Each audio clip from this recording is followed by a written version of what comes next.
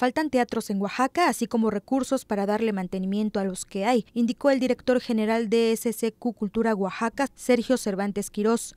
Y es que por falta de pago de luz ante la Comisión Federal de Electricidad de parte de los responsables del Teatro Álvaro Carrillo, las funciones de Frozen y Patrulla de Cachorros tuvieron que cambiar de lugar a unos cuantos días de sus actuaciones. Ahora será este 7 de febrero en el Teatro Macedonio Alcalá.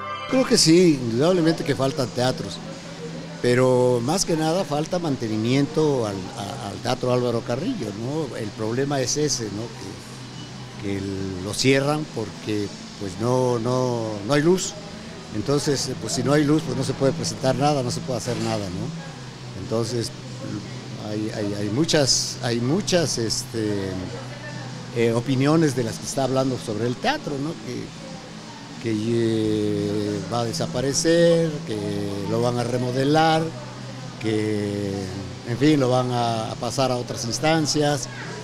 Todo eso que pues, no, no, no, no, no tiene que ver por qué cerrarlo, aunque sucedería lo que sucedería, no, no habría por qué cerrarlo si no se hace realmente en el momento que, que se va a hacer. ¿no? Pero bueno, son decisiones que, que toman quienes tienen a su cargo este teatro. ¿no? Por causas ajenas a los organizadores, esto provoca falta de credibilidad en la ciudadanía, indicó el representante de dicha asociación, pues Oaxaca merece funciones de calidad y con las condiciones adecuadas, agregó. Sin embargo, este cambio es una oportunidad para que más personas conozcan, disfruten y valoren a uno de los espacios culturales más hermosos e importantes de Oaxaca, el Teatro Macedonio Alcalá, expresó Cervantes Quirós.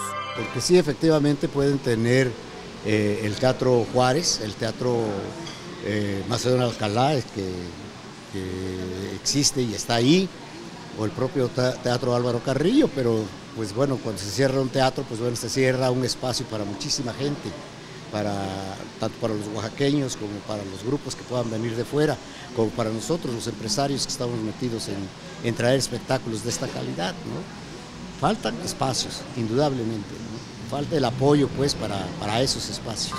Con esta modificación se reducen días de funciones y asientos, ya que de 700 lugares, ahora solo 300 infantes podrán disfrutar de dichas obras. Con imágenes de Juan Carlos Chiñas para MBM Televisión, Liliana Velasco.